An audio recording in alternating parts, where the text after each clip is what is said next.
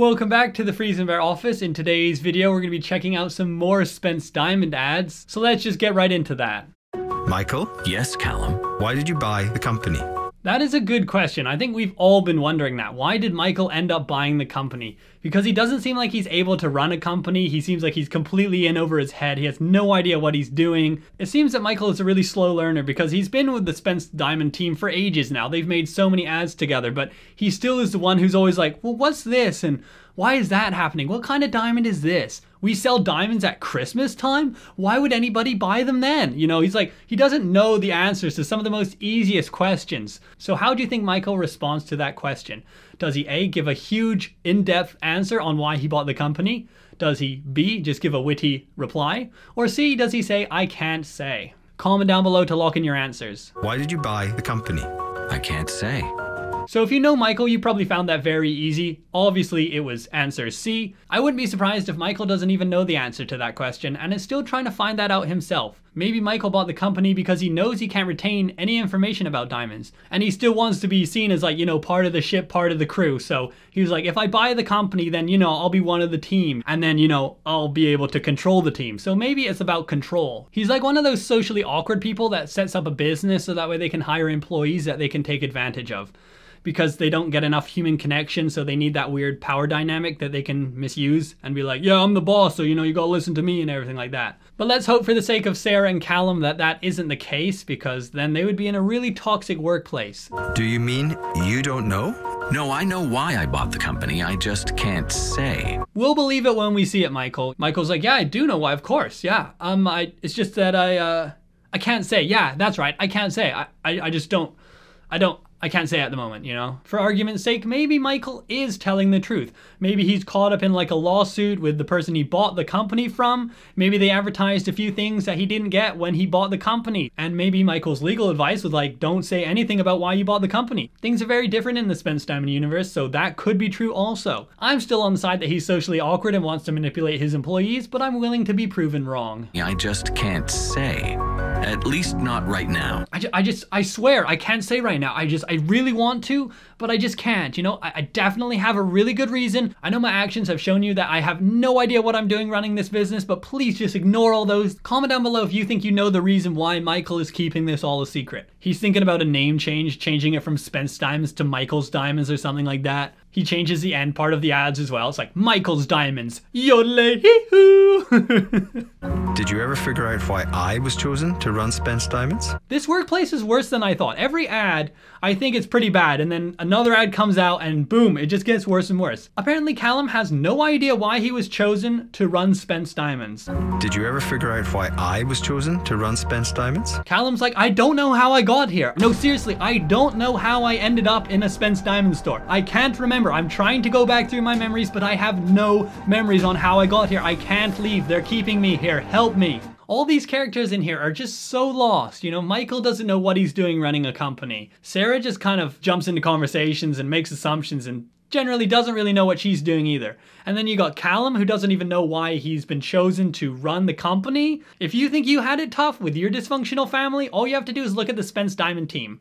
And then you'll feel a lot better about yourself. You're like, okay, yeah, it actually wasn't so bad. Most people get the job of running a company because they're good at it and because they know what they're talking about, or they're at least good at faking that. So the answer should be pretty simple, Callum. It's probably because you're good at your job. So in a perfect world, that would be the answer to that question. But we're in the Spence Diamond universe, which is far from perfect. Far from perfect. Just a sneaky callback to one of their previous ads. I'm starting to think Callum's like an alien from another planet, and he just ended up in Spence Diamonds one day. And they're like, yeah, you look pretty knowledgeable about diamonds, so yeah, why don't you start working for us? And he's like, all right. And then he's just been there ever since.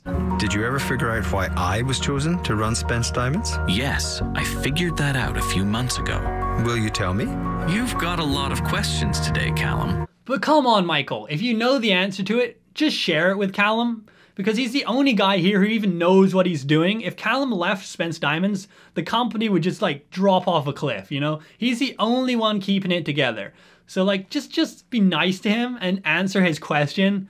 You know, he for some reason is feeling a little lost at the moment, doesn't really know why he's here, what his purpose in life is. So, you know, just humor him, help him out. He's maybe going through a little rough patch. Either that or he's an alien and he doesn't really know how human civilization works. And in that case, that's going to involve a, like a way larger conversation and discussion that could take quite a while. But you know, you could still do that after work. You know, you need to show Callum that there's a reason to stay at Spence Diamonds. Otherwise, he's gonna start his own one and it'll be like Callum's Diamonds or something like that. And you don't need that extra competition. With rising interest rates, diamond sales are at all time lows. You've got a lot of questions today, Callum. I've only got two more. Okay, but only two. Okay, I think it's pretty clear Michael is one of the worst bosses out there. You have an employee that wants to ask you two questions and you're like, ah, oh, god damn it, do you really have to ask me those? Just answer the questions, Michael. He's definitely one of those socially awkward bosses that has that weird power dynamic with their employees. This ad is only proving me more and more correct as it goes along. Michael just seems to have this talent for bothering me in pretty much every single ad he's in. And just when I think maybe this ad will be slightly different, boom, slap in the face, oh, Michael's up to his usual tricks again. I guess it's just like the saying, fool me once, shame on you, fool me twice, shame on you twice. If fool me, we can't get fooled again. Will I ever get to meet the man who chose me? Possibly. And of course, Michael has to be super vague with his answer too, because apparently in this ad, we're not supposed to find anything out. We're just supposed to have like a million more questions. If HR got wind of these strange workplace relationships, they'd be like, okay, guys, shut it down. There's nothing we can do to fix this. This is just done, okay? Everybody leave, okay? For the next two months, you'll be taking courses on how to work professionally in a workplace environment. How does Callum not know who chose him to run Spence Diamonds? Like, how does that work? That'd be like working at McDonald's and then somebody's like, oh yeah, who hired you? And you'd be like, I don't know. I just, I just, I'm just there.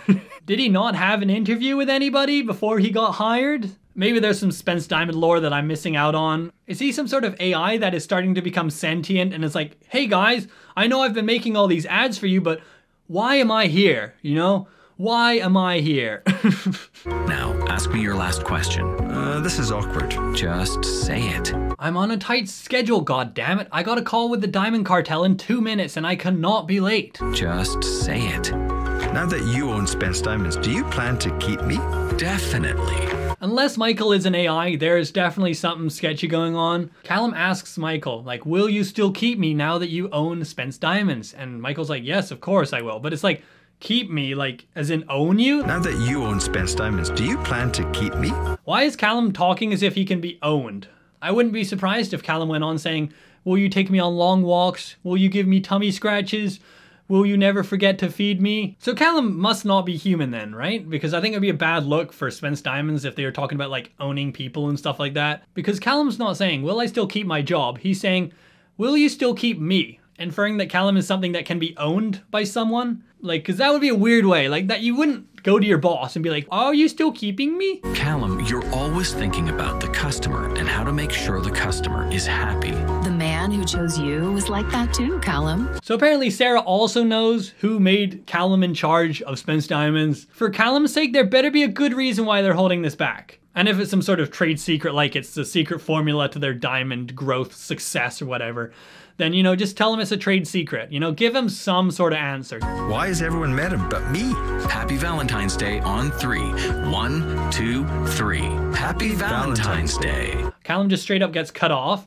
He's like, why has everybody met him except me? And they're like, oh, happy Valentine's Day on three. Sorry, didn't hear that. In previous Spence Diamond ads, I've been annoyed because of their advertising techniques and like making their diamonds seem way better than they actually are. But this ad is on a whole nother level. I've never been this confused after listening to a Spence Diamond ad. So there you go, that was me dissecting a Spence Diamond ad in probably too much detail. If you did enjoy it, please give it a like and please subscribe. And if you haven't, why not check out some of my other videos I've made on Spence Diamond ads.